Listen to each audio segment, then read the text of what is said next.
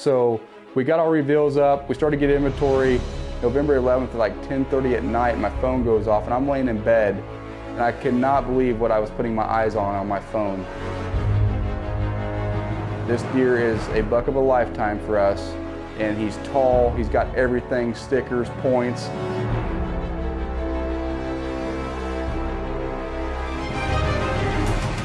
I heard one of the deepest grunts right beside me, and I knew that it was a mature buck to my right. Come on, baby, go down, go down. If I cross this fence and I walk 10 yards and he does not stand up or he's not in here, we're probably not gonna find this deer. And by godly, I crossed the fence. You would think that this was made up. I got him, didn't I? Here, re reload, reload.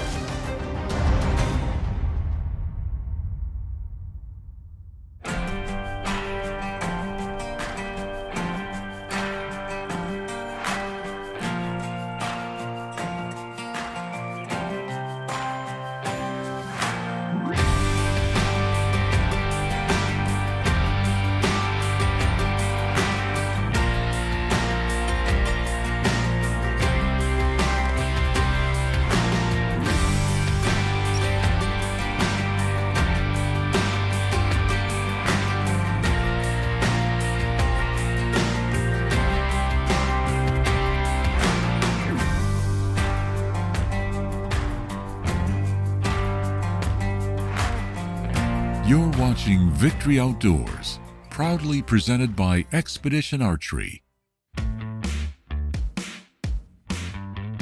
So 2020 was actually wrapping up the end of the season and I was just thinking, I had a boy that's just showing a lot of interest in the outdoors and I was like, you know, I'm gonna take him out this year for shed season. Um, it was a really cold, snowy day.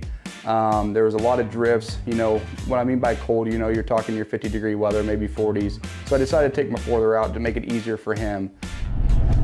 Today is Brentley's first day actually going out shed hunting. We're gonna go look for a couple of my hit list bucks. Um, stickers is our number one. And uh, I'm really excited to go spend this day with my son and get him into the outdoors. We went turkey hunting last year one day, he loved it.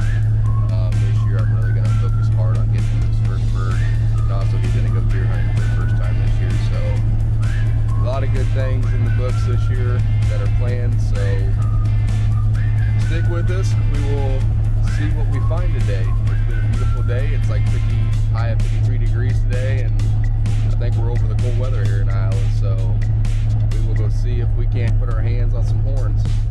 We was just running the field edges and stuff and the draws, and by golly, he found his first shed, and it was just a great experience.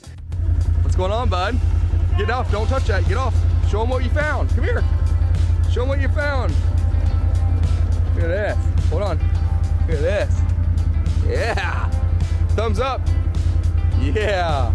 Woo. Good job, buddy. Go ahead and pick it up. Check it out. That's a weird looking one, ain't it? Awesome job. All right, we're gonna keep finding more. He picked it up, we talked about that deer a little bit. It actually had a really good curl on it and everything, and he kind of asked me why that antler was bent like that, and I kind of explained, you know, sometimes they just, when they're in velvet, you know, they get injured or some way like that, and that's what makes them bend like that. Um, and then we just kept going that whole day, and he was just staying, being a trooper. We were eating snacks on the four-wheeler and everything, and we ended up finding a lot of our good hit list bucks, um, the four-year-olds and three-year-olds, and um, it was just a great experience. He had a blast with me. Um, I had a blast with him. That's what it's all about is getting our kids in the industry and stuff. So it, I just couldn't beat, the day was just phenomenal. And there's one set of antlers we did not end up finding, which was stickers. Um, unfortunately, you know, we might have not just, the snow was so high in certain areas, we might have just walked over them or drove over them. But also, you know, I was worried about maybe he got injured or maybe he got killed the previous season. So that was the journey for the shed season and um, had a great time with my boy. What did we just pull right in front of? Take us to it, buddy. Take us to it. What a day. What a day. What a day. What do you got there? Whoa. Look at that. That's like number what, seven? Yeah, probably number eight or seven. Wow. All right, buddy. Let's go put him on the four-wheeler. Amazing.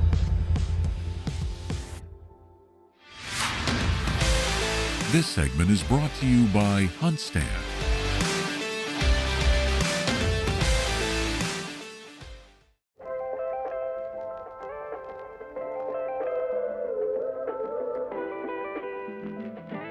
So the main thing this property lacks is food. It's a cattle operation. There's only so many spots we could put food plots, but also I got to get permission from the landowners. So me and the landowners talked and actually they had a couple spots in mind that I could put food plots in. One of the spots was down by the river, which is great. The fence line that keeps the cattle out, it was just a perfect area to put a food plot, but also, you know, that's Stickers' is core area. So I was like, this is perfect. So we put a nice food plot in there by White Gold Products.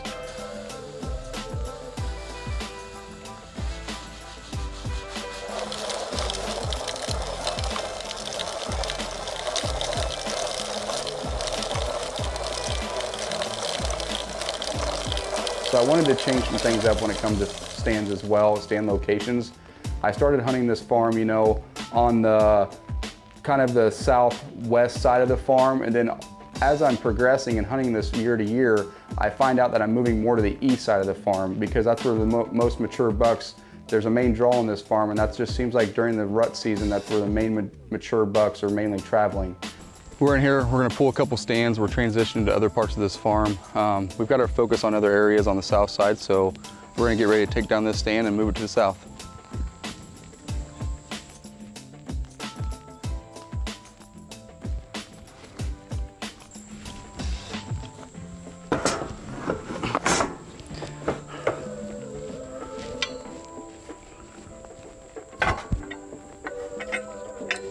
Um, so I've learned to kind of keep off the north side of the farm and keep that a sanctuary for the deer and put most of my pressure towards the south side and then also the east side of the farm. So things are looking up, things are, I've got, like I said, stands in places and stuff that I feel confident in and then also we're putting food on the farm. So things are really looking confident for the season. Hey, bub. Yeah, this is comfy. It's really comfy. Nice shade.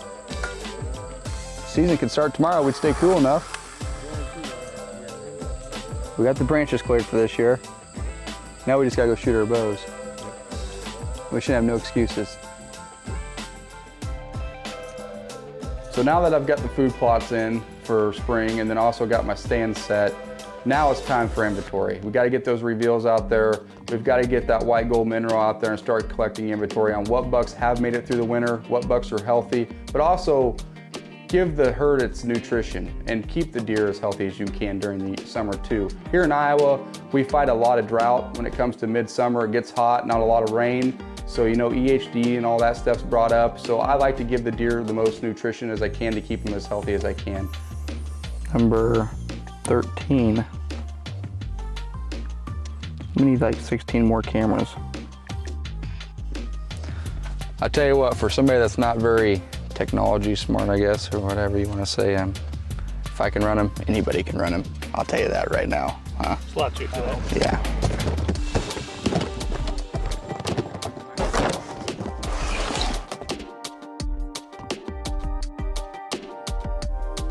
Today we're just focusing on getting camera set up, our reveals, putting out some mineral looks, um, just seeing what we got for 2021 inventory. Hoping to get a couple of our hit listers from last year that we passed that should be hit listers this year on camera. Mm-hmm. I think we're good, bud. I think we're good. So we got our reveals up. We started to get inventory. We got some great bucks on camera. This farm really slow. It starts to pick up towards the end of September, 1st of October, because it is a cattle farm. So the deer like to summer on other farms around us.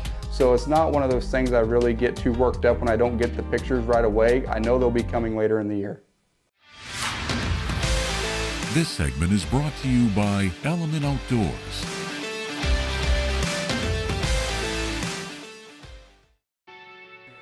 As season approached, I was anxious to get in this deer stand. Um, on this farm, I don't get too anxious in October unless cameras tell me otherwise. November 11th at like 10.30 at night, my phone goes off and I'm laying in bed and I cannot believe what I was putting my eyes on on my phone. I have an absolute giant that's got my full attention at 11 o'clock at night. This deer is a buck of a lifetime for us and he's tall, he's got everything, stickers, points, I'm just going back wondering if it is stickers, but then I come to realize that next morning I go hunt, I get back, I'm like, I'm gonna skip the afternoon because afternoons ain't so good on the property I hunt. And I'm going through all the sheds that I found with my boy. This is him. And me and Ian's like, we're gonna be in this tree the next morning. And it was like November 16th. We came all the way in from the west, got to the tree, and I got up in the tree, started to unpack my things. Ian's at the base of the tree, and here we've got a 140 inch buck dogging a doe right past the trunk of the tree at 10 yards. Ian's on it with the camera, and we're like, I'm sitting here like, man, we gotta get up in the tree. I gotta get him up in the tree.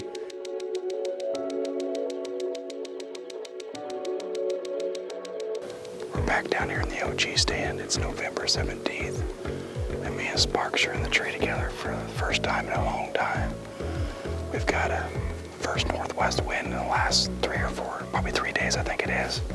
And it's 16 mile an hour wind too. So last time we had this same wind and this same um, strong wind and this same wind out of the same direction of northwest. We got pictures of TC right below us at 10 yards. Finally, they move on. Ian gets up in the tree. We get all settled in, and it was just nonstop action.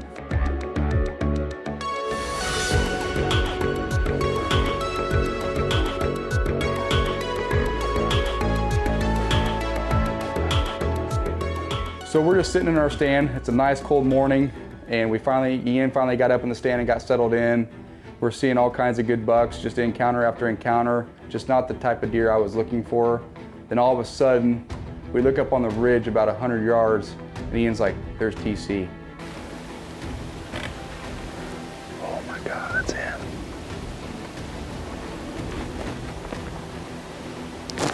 I look up there and I just could not believe what I was putting my eyes on. TC was on the hoof and he was bigger on the hoof than he was on camera. And he was walking the ridge, there was a doe in front of him and I was like, I needed that doe to come down to me. She was walking the ridge and usually what these deer do is walks the ridge and comes down to the bottom to us.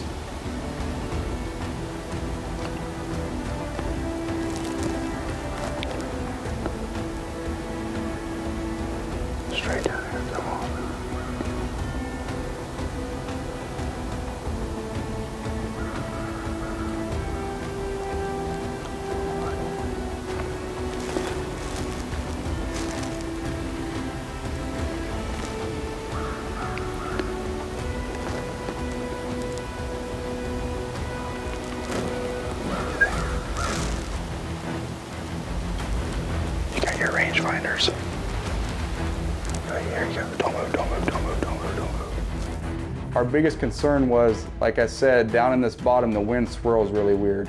So eventually TC walked to where we lost sight of him and we got a little nervous. But then we looked right in front of us about 50 yards and he was coming down the side hill right at us. And me and Ian was talking to each other nice and quiet, just going through things, take my time, Dennis, just making sure everything was in check. I was telling myself, just control my breathing, and he came all the way down and it was picture perfect and it was he was going to present me a 20 yard shot. And when he got all the way down to where he needed to take about one or two more steps he he smelled something he didn't like. And he just turned right back around and walked up the hill and went back over the hill. And then we're like where's he going? Me and Ian also had a 160 inch deer come 10 yards from our base of our tree stand. And you know, it's hard to pass a deer like that, but also it's easier to pass a deer like that when you have a booner right in front of you. Um, it was a great encounter, awesome encounter. It's too bad I couldn't get the, the job done, but also these deer are, are big for a reason, and that's you know the journey and the story keeps living. And you know, it, I hope I hope next year we have this encounter again. This segment is brought to you by Reveal by Tacticam.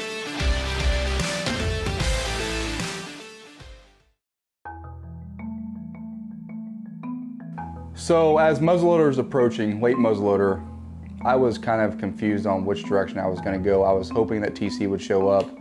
Um, one night I was in bed again and my phone goes off. It's my reveal. And boom, I get a bonus buck. A buck I have no history with, a great deer, 160 inch deer, 12 pointer, coming from the neighbors. What, there couldn't be a better opportunity for me. I can keep all my deer as four-year-olds and shoot a bonus buck that may never come back.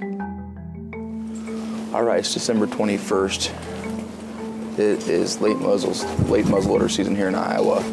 Um, I was able to take my son out for shotgun season and get him on his first deer ever. What an amazing memory I made with him. It was awesome. Um, bow season was tough for me. I'm still got my bow tag. I'm hoping to get tagged out early with my muzzleloader and go back to bow. There's deer coming out on another blind below me, about another 150 yards, and I'm sitting here as a hunter like I'm always in the wrong spot. The deer are always a step ahead of me every time this year, and it's just been getting frustrating. And I'm like, just patience, Dennis, calm down. So I just stayed in my chair, and it was an hour, 20 minutes before dark. I heard one of the deepest grunts right beside me, and I knew that it was a mature buck to my right and he walks past our blind and looks straight at us at 40 yards. And here I've got a muzzleloader when I still have my bow tag. Should have had my bow on me, would have been a great opportunity. So finally I got the gun up when he turned his head just a little bit. I mean, it was just, everything was so tight in the blind, it was so uncomfortable. You got him. You got him. I can't hear. I got him though. Come on, baby. Go down. Go down. Just keep following him, please. Keep following him. He's gonna go down. And when I shot, I knew I hit him really good because the way he took off, I thought he was gonna fall within 100 yards on film. And the deer jumps the fence. I go back, I go to Kurt's house, we put the footage on the computer, we look at all the footage, and now I'm concerned. The reason why I'm concerned is I noticed that his right, his left front shoulder was dangling like this. And I was wondering if I missed the whole cavity and actually just hit the opposite shoulder up high. And now I was sick to my stomach because I had my one chance. I've blown it. Um, I don't know what went wrong. Everything felt great. Besides, like I said, we had to move a little different in the blind. I woke up bright and early the next morning. I got Ian and I got my employee, I got the landowners, and we went from the north side of the farm and walked it slowly to the south.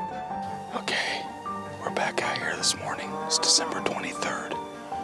And uh, we're coming in from the north because we got a south wind, so we're gonna walk this easily. Hopefully, we just walk up on him, but he's hit real hard, so we'll see. The best thing we did last night was back out and just let him be, so fingers crossed.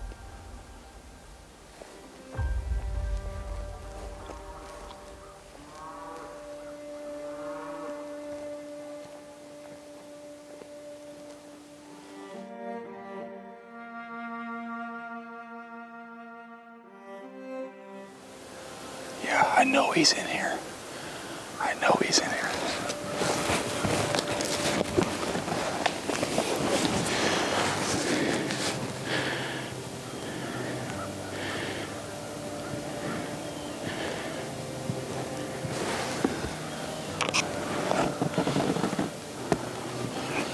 If I had to bet, he's up this draw right here. And I told actually Ian on camera, if I cross this fence and I walk 10 yards and he does not stand up or he's not in here, we're probably not gonna find this deer. And by godly, I crossed the fence. I seriously walked 10 yards. You would think that this was made up. This deer is bedded in front of me at 50 yards.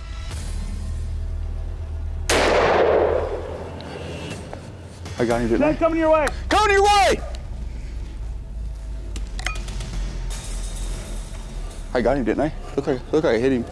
Here, re- reload, reload. He stands up. It's him. I blew his leg. You can see the leg dangling. He takes off sprinting. I pull up. I shoot him at 60 to 70 yards on the run. Don't know if I've hit him because everything's happened so quick. And I walked maybe another step, pulled my gun up and just kind of glanced the bottom of the ditch. And there he's laying. I piled him up. Dude, it's been a long season. Man, I was like, I, all, all I want to do is body punch him. That's all I was aiming. I was just like, I just need a body punch him. His bed's right here. Yeah, right there. Oh my God, dude. I don't like a wounded deer. We seriously, I walked up this fence line knowing that all the big bucks like to hang out in this draw. and he was bedded right there. It's been a tough one, boys. It's been a real tough one. So this one, this is this is good. This I'm about ready to cry. I'll be honest with you guys. This has been a good year.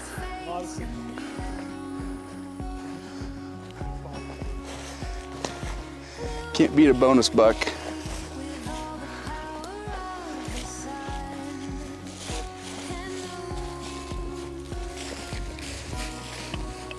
Dunzo. Dunzo. Me unload my gun. So this morning, we came in from the north, got downwind, basically for two reasons. They couldn't smell us, but also keeping these deer in the center core of this farm. And we had a game plan, and most times the game plans don't happen, you know, come out and be exact, but this one actually was just the puzzle, all the pieces to the puzzle went together.